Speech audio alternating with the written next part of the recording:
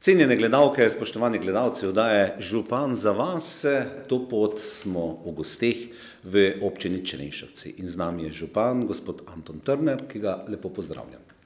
Hvala, lep pozdrav tudi vam. E, govorila bova predvsem o enem velikem zalogaju v vaši občini, ki ga pripravljate to leto. Gre za novi razvojni program občine, e, strateški dokument, ki vsebuje kar veliko parametrov, ki bodo vplivali na razvoj vaše občine. Da, drži. Pričal je čas, eh, da se dejansko spravimo k temu, da pripravimo, napišemo konec koncev novi dokument, novi razvojni dokument. Eno obdobje je za nami, obdobje 2012-2017. Eh, strateški dokument v tem času je bil eh, na nivoju občine sprejet. Zdaj je prišel čas, da analiziramo v okviru novega dokumenta, kaj se je realiziralo iz preteklega obdobja. E, moram povdariti, da smo praktično ta dokument v celoti realizirali in na to sem lahko ponosen oziroma smo lahko ponosni vsi občani. Številni projekti so bili izvedeni e, v tem obdobju, ki se zdaj izteka. Zdaj je pa čas, da nastavimo e, dejansko neko rang listo novih prioritetnih projektov na območju občine, ki jih bomo skušali v perspektivi realizirati v okviru in v okvirih, ki bodo pač eh, dani lokalnim skupnostim. Vemo, da v tem zadnjem obdobju niso rožice cvele, po domače povedano, eh, da je bil dostop do tako imenovanih tujih virov težek eh, in da smo se več ali manj, recimo vsaj v zadnjih dveh letih, mogli naslanjati na lastne vire. Torej, kakšna bo perspektiva? Upam, da bolj svetla kot trenutno obdobje in poskušali bomo pač doseči to, da realiziramo čim več eh, zastavljenih projektov. Čeprav realno gledano projekti z področja komunalne infrastrukture so praktično zaključeni, to so izredno veliki projekti. Eh, da pa potrebno realizirati še prav gotovo kaj na bodi si javnih objektih, od šol, vrtcev do drugih eh, domov in tako naprej in tako naprej. Eh, nekaj bo pa verjetno tudi potrebno zagotoviti za delovanje tako imenovane civilne sfere.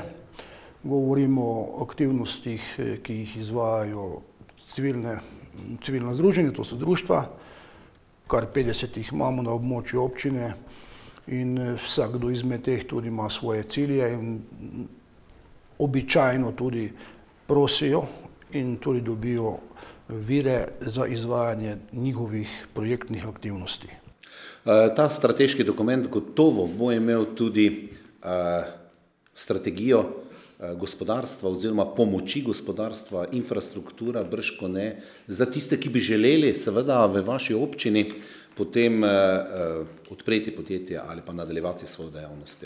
Da, po poglavjih eden izmed ključnih segmentov vsakega strateškega razvojnega do, dokumenta je pogled na trenutno gospodarsko situacijo in pa ocena ter eh, bom pravil nabor eh, ukrepov eh, za pospeševanje gospodarstva na lokalnem območju.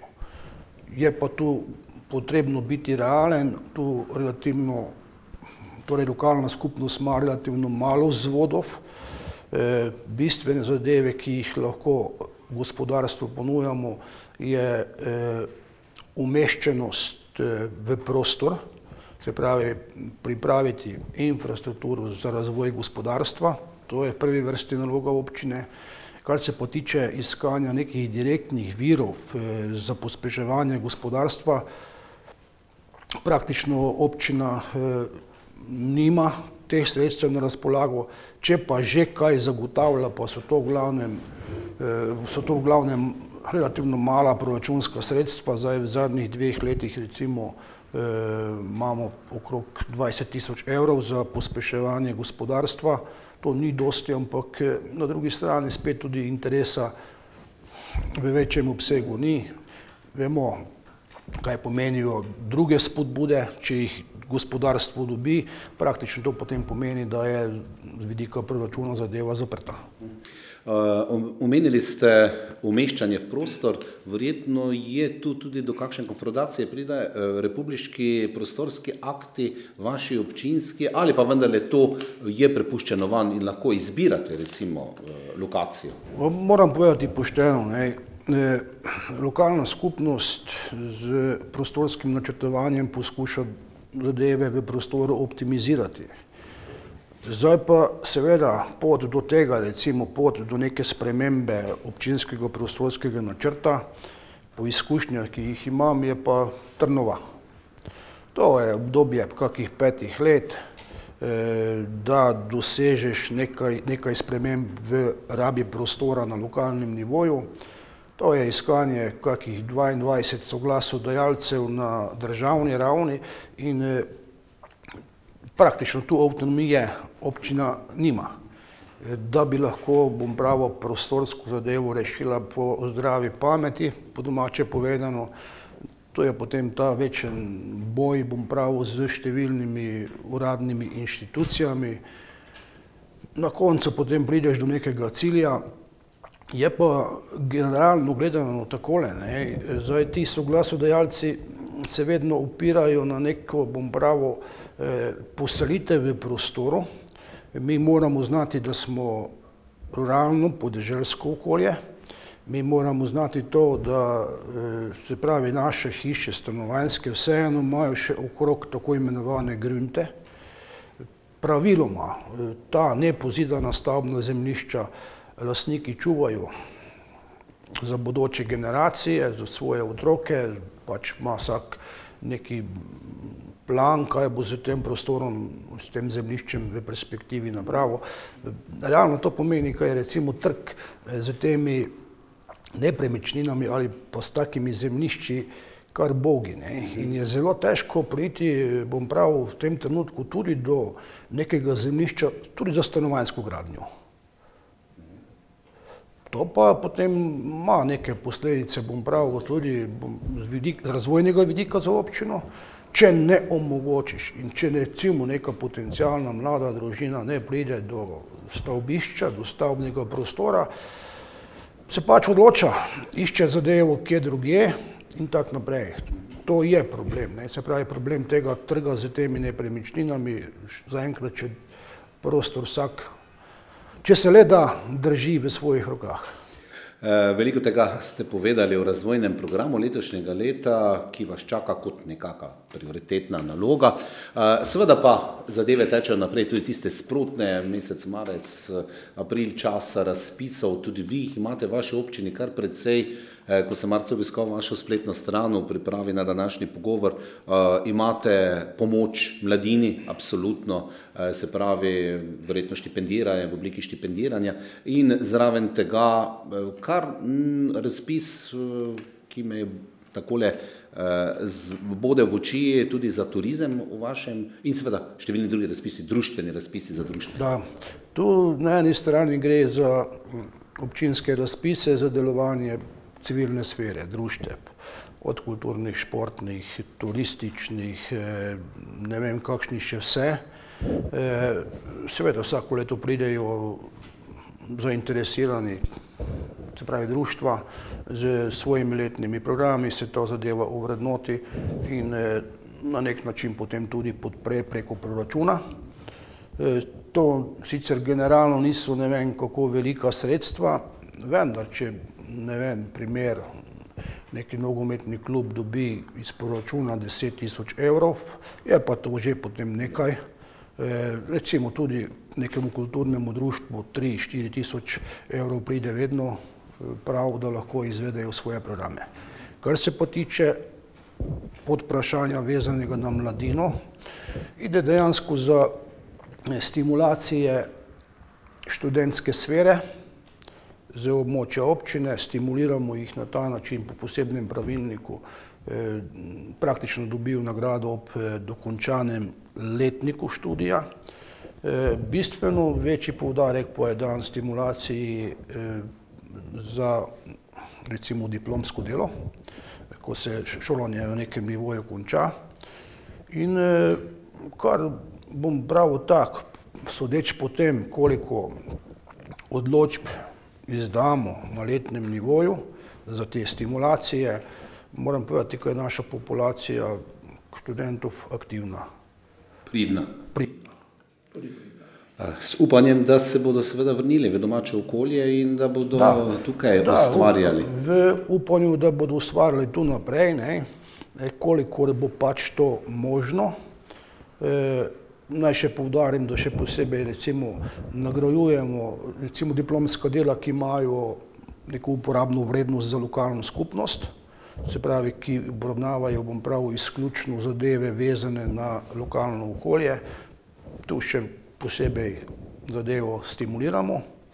Drugače pa eh, vidiš na, recimo na letnem nivoju, ko posamezniki dosegajo izredne rezultate. Eh, število doktorjev znanosti iz leta v leto narašča, posebej vesel, eh, da je to prisotno v našem okolju, eh, seveda pa je potem vprašanje, kje si poiščejo kruh, eh, na katerem področju. In zadnje leta kažejo na to, da je vseeno tudi v regiji in širše, bom prav na nacionalnem nivoju, en gospodarski zagon in s tem tudi mnogo, mnogo lažja pot do službe, do dela, kakor je recimo bila pred nekimi desetimi leti. Župan Anto Trnar, eh, skoraj se že zima poslavlja v tem času, ko se eh, mi dva to pogovarjava, dobite z terena, z vasi, z, eh, od ljudi precej apelov o tem, kakšno je stanje eh, seveda cest. Letošnja zima je terjala velik davek, lahko rečemo. Prvič iz proračuna zaradi zimske službe in seveda pluženja frakcij in tako naprej, drugič pa posledice tega.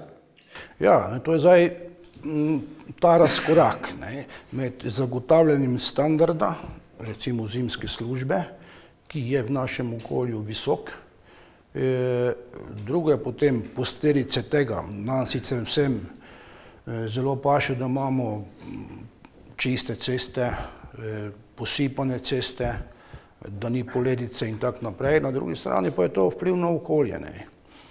Tu ide zadeva, bom pravil, velike količine. Jaz sem pripričan, da je 100 ton soli bilo v tej zimi premalo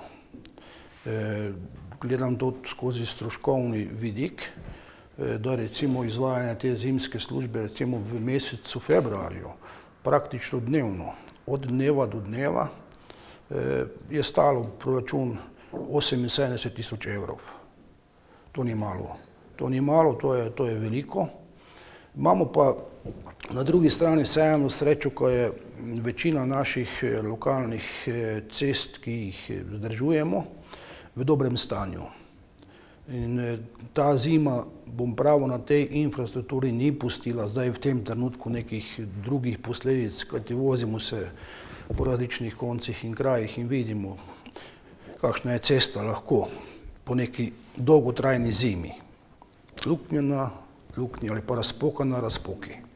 Pri nas pa na območju občine pa ocenjujem, da so zadeve zelo bom prav na visokem nivoju urejene, imamo zelo malo še nekih kratkih odsekov, ker bo potrebno v perspektivi še nekaj zinvestirati. S tem, da pa recimo tako letos kot lani eh, investiramo veliko v tako imenovane varne poti, to so pločniki, to so kolesarske steze eh, in na ta način, bom pravo, tudi zagotavljamo kar primeren standard varnosti v okviru lokalnega prometa. Ne glede na to, da letos seveda čakajo tudi, eh, nas čakajo volitve v lokalnih skupnostih, eh, še prej seveda parlamentarne, o teh ne bova govorila, ste zasukali rokave, ni počitka, eh, navadno proti koncu kakšnega mandata, kdo malo lažje zadiha, Eh, ne bom spraševal, boste zopet kandidirali za župana ali ne, to je vaša odločitev, ki boste verjetno sprejeli nekaj kasneje. Pa vendar eh, treba, eh, oziroma načrti so zastavljeni smelo, veliko dela še vas čaka, jaz verjamem, da vam bo do eh, konca leta oziroma do naslednjega mandata ali pa mm, kdo bo drug sedel morda na vašem mestu, eh, uresničili zastavljene cilje? Ja, leto je specifično, je volilno. Za volilno leto je značilno to, da so na eni strani apetiti megalomanski povsem, na drugi strani možnosti relativno male. Vsega prav gotovo ni možno realizirati, bom prav, v zadnjem letu nekega mandata. Je pa zdaj ta strateški dokument pomemben za naprej.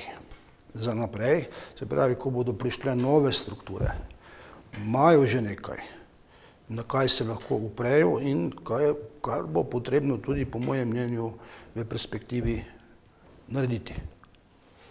Torej, občina Črenšovci je pripravljena na nove izzive, tudi župan Anton Trner, zahvaljujem se vam za današnji pogovor, za predstavitev res eh, tega smelega projekta, velikega projekta in vam, vašim sodelavcem, veliko dobre volje, optimizma in uspehov v tem letu. Hvala za lepe želje, pa upam, da bodo te želje tudi postale realnost v bližnji prihodnosti.